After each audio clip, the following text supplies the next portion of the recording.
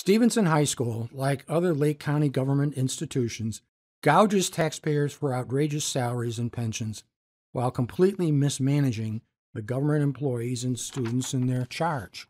Stevenson High School student dean Paul Wheel resigned amid his alleged inappropriate texting with students. A second dean, Nicholas Valenziano, had to resign after a video of his racist attack on a student was reported.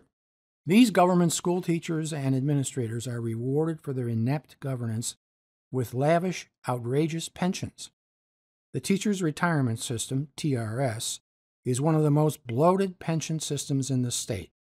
No matter how poorly these bureaucrats perform, taxpayers are on the hook to pay them until their death. On average, Illinois government teachers are only employed about 27 years before they are eligible to retire and collect full pensions. The average age of an Illinois teacher at retirement is only 59. The TRS is only about 50% funded. And this is what the proposed Pritzker Income Theft Amendment is all about. Pritzker has placed an amendment on the November 3rd ballot to change the state flat rate income tax to a graduated income tax. If passed, this graduated tax will decimate the state's middle class. Between the mass exodus of Illinois residents and businesses to more tax friendly states and the huge loss of jobs and income from Pritzker's lockdown, Illinois' middle class will virtually disappear. Lake County has lost more than 7,600 residents already. Here are just a couple of the bloated government pensions at Stevenson High School. James S. Hines, Stevenson District 125 retiree, has a current annual pension of $306,000.